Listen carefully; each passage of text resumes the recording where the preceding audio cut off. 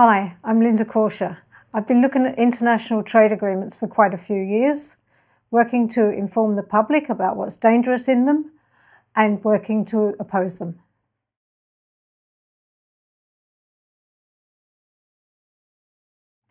Trade agreements are not being mentioned in, by the parties in the election, really, and certainly not the dangers of trade agreements.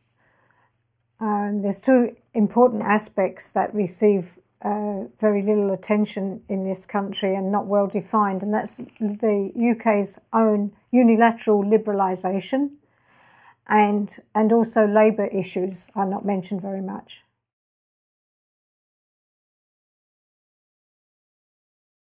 The UK has been completely liberalised since Thatcher's time, and that means that we have been completely open uh, all investment opportunities here have been completely open to transnational investors, um, whether it's uh, private sector, like firms being sold off, it's always open to transnational investors. And the result of that is that we don't own anything anymore in this country because it's been in that direction for a long time. And it also applies when there are privatizations in the public sector. Those investment opportunities are also open to transnational investors.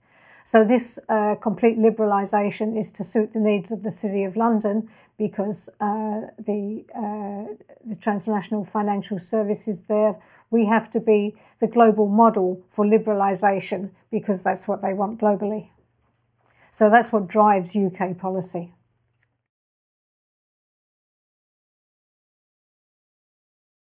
There's little attention paid to workers and to labour as an aspect of the economy, really. And if you notice, there's less and less reporting on workers as the, the, the shift in reporting has gone towards business perspectives and business needs. Uh, Tom Mills, in his book on um, the BBC, really points this out how there's um, there are no industrial reporters anymore. It's all business focus.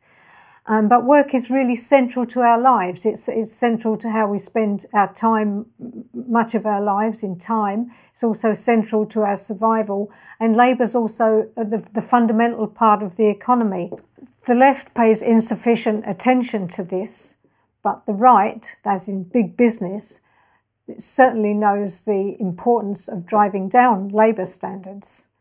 And obviously this happens through two, two main mechanisms is to shift work overseas to cheaper labour areas or to bring in or move across borders workers who will work more cheaply and that's uh, inherently undermines labour standards as well. Both of these are reinforced in trade agreements and facilitated in international trade agreements.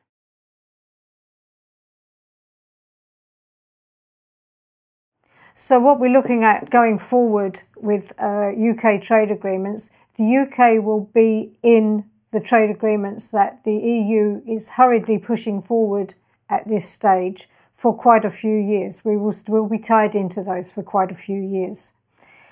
Um, and then we're looking at the Brexit deals that are being suggested or pursued. So obviously a main priority for the UK government is a trade agreement with the US.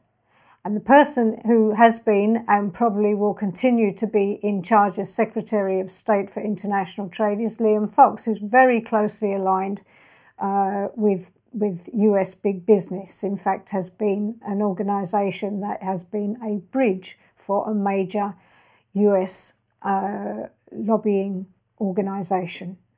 So um, very very tied to the US corporations and um, obviously, the UK is very keen to push ahead with a deal with the US.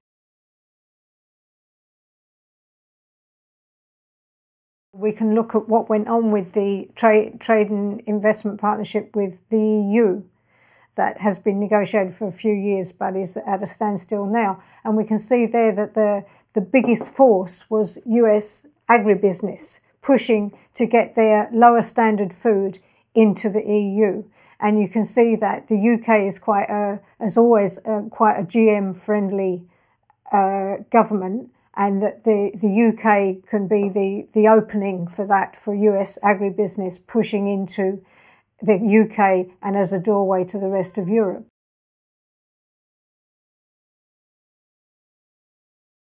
We need to be really watchful about what's being proposed for trade agreements and not accept this magic word that trade agreements are the one thing we need. It's the content of trade agreements that really matters, and we need to know that from the earliest stages, and we need the assessment of who's going to benefit and who's going to lose from such trade agreements. A good source of information about trade agreements generally, um, but in the EU context, is Corporate Europe Observatory, CEO. They've looked at a lot of aspects of the uh, agreements that have been negotiated at the EU level.